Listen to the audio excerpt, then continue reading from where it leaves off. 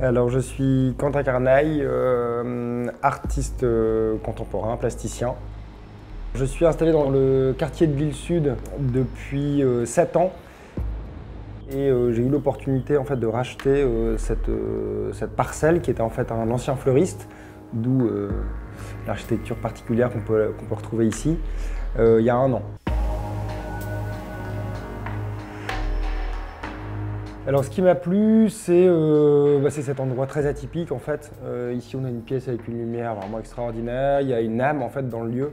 Mais surtout un, projet euh, fédérateur qui est d'avoir un espace de coworking créatif.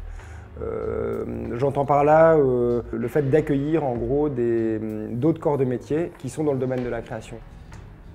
On a effectivement pour l'instant un cabinet d'architecture, euh, on va avoir un photographe. Et l'objectif, en fait, c'est de ne pas rester dans le carcan euh, purement artistique et donc vraiment d'élargir euh, avec d'autres corps de métier qui tournent malgré tout autour de cet univers de la création.